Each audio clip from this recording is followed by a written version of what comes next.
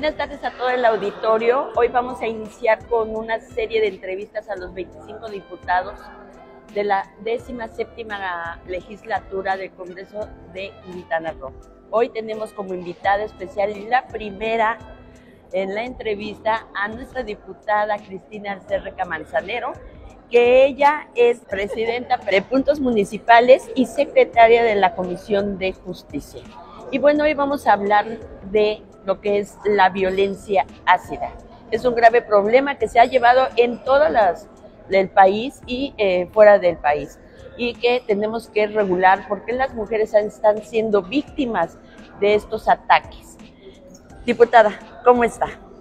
Pues muy contenta, Maya. No sabía que era la primera edición, así es que doblemente contenta hoy en el marco del 70 aniversario del voto de la mujer en México que conmemoramos el día de ayer.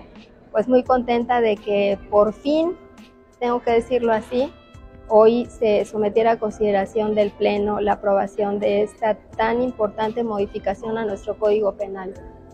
Diputada, explíquenos que todos entendamos qué es la violencia ácida.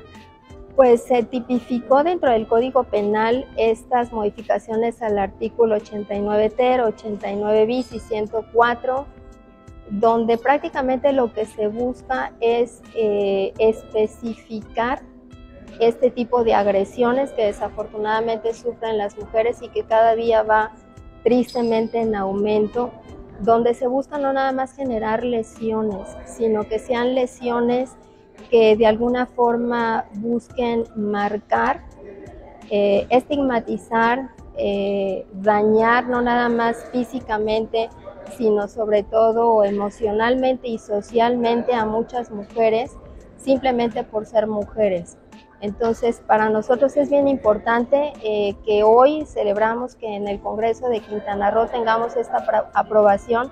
Muy pocos congresos en el país han legislado en este sentido. Existe una propuesta de modificar el Código Penal a nivel federal que ya se aprobó en la Cámara de Diputados y está en revisión en la Cámara de Senadores entonces, hoy en Quintana Roo, como en otros temas, estamos este, siendo primicia a nivel nacional aprobando esta violencia ácida, que va en dos sentidos.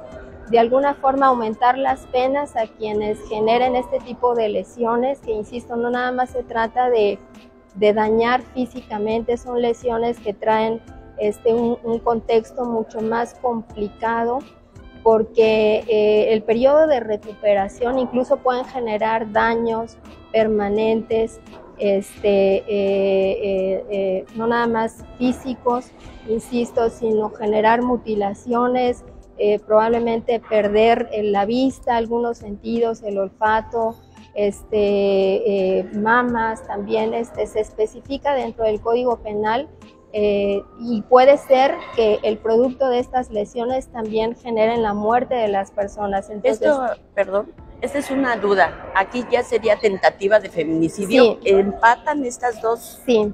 Una de las modificaciones es dar el tratamiento de tentativa de feminicidio o feminicidio cuando la muerte se produzca como consecuencia de estas lesiones y cuando se genere eh, este tipo de lesiones permanentes. Van en dos sentidos y también se busca dentro de esta modificación al Código Penal sancionar a quienes por omisión o por irresponsabilidad no realicen las investigaciones apropiadas para que aquellos servidores públicos que tengan la responsabilidad de practicar las investigaciones pues no cumplan con su función de, de realizarlas.